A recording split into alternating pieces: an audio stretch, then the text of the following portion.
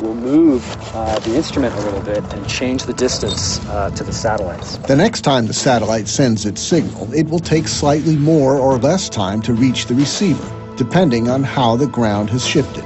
This change in the ground after a quake is often imperceptible to the naked eye. But the GPS receiver is so precise that if its position changes by mere millimeters, it can detect the shift. And it's these very small changes uh, that the instrument can pick up, which we can use to infer what happened during the event. But scientists have had to wait until the swarm grew more threatening for the GPS technology to be effective. We usually need a much bigger earthquake before we can see displacements uh, in the surface.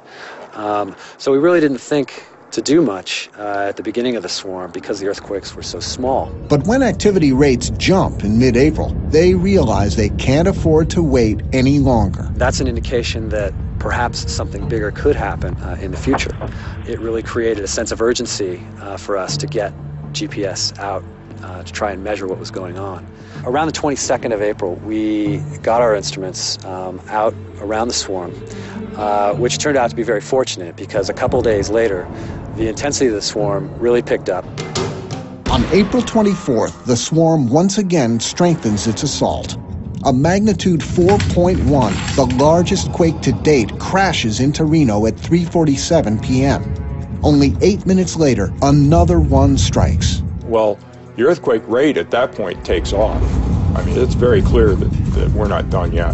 Five more quakes, magnitude 2.6 or larger, hit that day, continuously rattling homes throughout Reno. If you look at the number of earthquakes occurring, uh, they're just running off the chart. This is this is April 15th, and we thought that was a, a rocking rate of earthquakes. This is even steeper. And we thought, man, we had problems here. Well, this is several times that rate. So now you're you're really you're talking several felt earthquakes per hour, and so this is this is a, a very serious situation because we don't know where it's going at this point. What's the next step? You know, you're watching this watching this earthquake sequence happen. Um, so what do we do? What are you going to do if it's a magnitude six?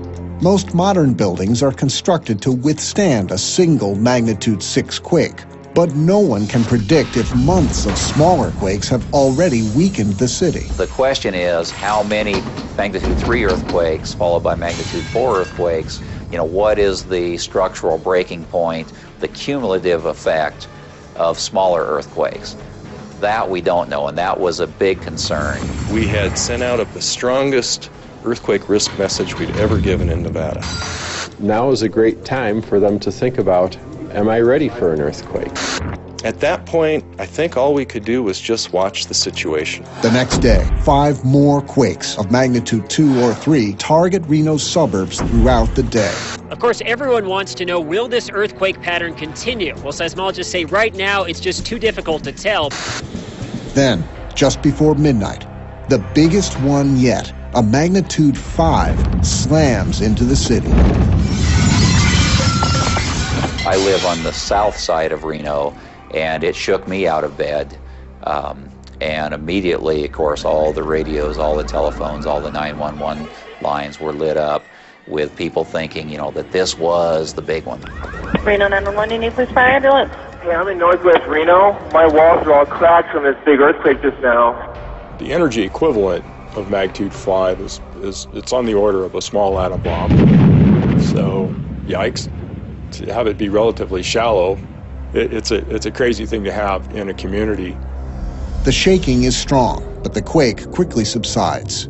Many homes suffer minor damage, but somehow most of Reno miraculously escapes unscathed. Scientists are even more puzzled when the data from the quake comes in. Ground motions were, were extremely high, uh, much higher than you expect for a magnitude 5 earthquake or, or what we'd expect the shaking was in the, in the Mogul area. The discovery only raises more questions about why such a strong, shallow quake didn't wreak more havoc on Reno. A good way to imagine what happens to a building during an earthquake is to remember what happens to us when we're in a vehicle and we suddenly slam on the brakes um, and are thrown forward. It's deceleration. Or if we floor the accelerator and we push back into the seat, that's acceleration. And if it's high enough, we can get whiplash. In an earthquake, buildings can't accelerate that quickly either. The building is at rest, the earthquake occurs, the ground accelerates, the building lags behind, and these uh, whiplash forces in buildings can be very, very damaging. Instruments like the one buried in John Anderson's backyard have been recording the ground accelerations throughout the swarm. According to their readings, the magnitude 5 quake should have produced strong enough whiplash effects to cause widespread damage. Generally speaking, there was no structural damage in Mogul, but there should have been. Uh, the first question that you get asked as a scientist, then probably it's instrument error. We may not be using these instruments correctly.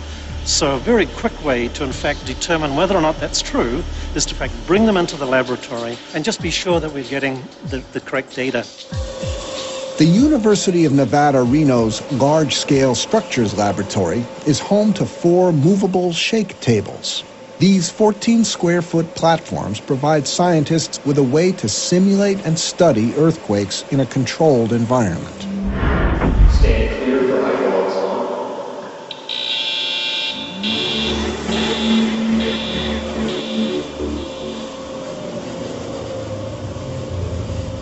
This is one of our shake tables, and uh, it is driven by hydraulic actuators. The table moves on two rails, and um, because one rail can slide on the other, like this, the table can therefore move in any direction in this horizontal plane. Circles, ellipses, and of course, earthquakes. We can even amplify an earthquake. We can have larger earthquakes in the lab than are recorded in the field, which is often necessary to find out how things collapse. So in order to determine whether or not there's instrument error, the accelerometers are brought into the lab, bolted down to one of the tables, and then subject to random uh, vibrations, but all the frequencies uh, that we see in an earthquake. The test proves that there isn't anything wrong with the instruments or the information they've collected. If the instruments don't have an error, then indeed the ground was moving during these earthquakes all throughout Mogul very high accelerations. And so the question then remains, why wasn't there more widespread damage? A closer examination of the data provides scientists with a possible explanation. They suspect the duration of the magnitude 5 earthquake saved the city from greater ruin. In the Mogul sequence, the largest earthquake only lasted three seconds. The duration of strong shaking, only about three seconds. We have a building here, uh, which is rather like a house in the sense that we have a basement and we have a first floor and a second floor and we have a roof. What, what we're going to do is we're going to recreate three seconds of the Mogul earthquake so um, we can turn it on and see what happens. And that kind of motion is what many people reported they saw in their houses in Mogul during the earthquake swarm, that the upper floors swayed particularly and then stopped and the building was still standing in a three second earthquake. The building's only just begun to respond and the earthquake's gone. Now, truly damaging earthquakes, the ones that we saw in China last year, were like 30 seconds. Some even go to 50 and 60 seconds. A 20 second test illustrates the destructive effects longer duration shakes can cause. And the, the result is obvious. We get total collapse of the building um, because of the fact that the ground shaking went on for a longer period of time and it was long enough for the building to, in fact, sway to the point of collapse. This gives us confidence in our postulation that indeed duration, the shortness of duration in the case of the Mogul sequence, was the reason for the lack of uh, widespread structural damage. But despite having dodged a bullet, the city of Reno is offered no respite in the wake of the magnitude 5. The quakes continue, and scientists are concerned that the swarm is only just entering a third, potentially catastrophic phase. We scaled up on April 15th, and then on the 24th, we scaled up again to another level of magnitude, and now on the 26th, we're at another new territory, a magnitude 5. The earthquakes weren't dying away. They weren't turning into an aftershock sequence. They were just continuing. I think the period between April 25th and and the end of April was the scariest of all for us.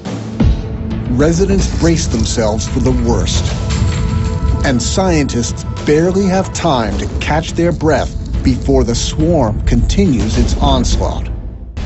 As Reno recovers from the magnitude 5 quake, no one can predict whether the swarm will continue to escalate. But having tracked the earthquakes for more than two months, scientists are able to detect an emerging pattern in its behavior. There's many, many earthquakes that were located, but we took the very highest quality locations. We put them in a time sequence. In this animation, we can actually see how the thing progressed. And we can see in the early part of the sequence as it's confined to the Mogul and the southern Somersett area. There's the large, the main shock.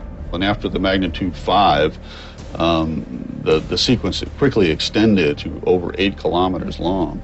As the pattern emerged, we have a nice long linear um, northwest striking structure. Faults are broken into categories depending on the angle and direction the Earth slips during a quake. In so-called dip-slip faults, one side of the Earth usually drops down or is thrust up over the other. And those give us the mountains and the valleys that we see across Nevada. But in strike-slip faults, one block of Earth slides past the other in a direction horizontal to the fault plane. The linear northwest pattern of the Reno quakes leads scientists to believe it's a strike-slip fault that's causing the swarm. This tells them that the forces ultimately driving the quakes are probably tied to the plate boundary on the west coast. As the Pacific plate moves to the north, it's grabbing the large block that's the Sierra Nevadas and it's wrenching it to the north as well. And Nevada is feeling the influences of that wrenching to the north. If you plot this fault and you plot the direction that the Sierras are moving, they're almost parallel. And, and so um, it's hard to imagine the Sierra moving and this not somehow being related to that. For weeks after the magnitude 5, the swarm continues to shake Reno with more earthquakes. Fortunately, none are as powerful.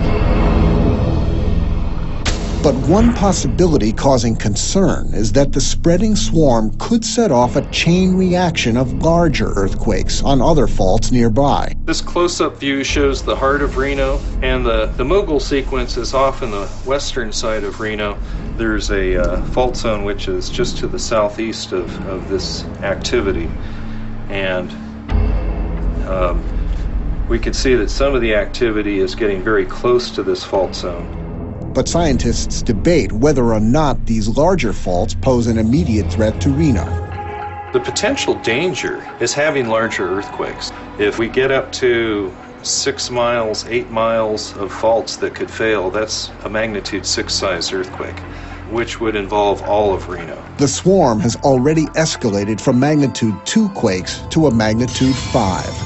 Residents fear the swarm has something even worse yet in store. But then, just as mysteriously as the swarm arrived, the quakes begin to disappear. I know we were all very relieved to see it begin to slow down. Scientists believe the worst may be over, but with earthquakes, no one can say for certain. In June, there was a bit of a resurgence, like it was firing back up. And it wasn't until August, I think, that we began to get the sense that, okay, it's backing off. Now we're having down to one a day or fewer, you know, May, June, July, that we're on the bubble.